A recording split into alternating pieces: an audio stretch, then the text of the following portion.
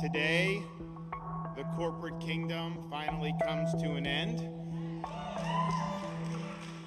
There's a new sheriff in town, and accountability will be the order of the day.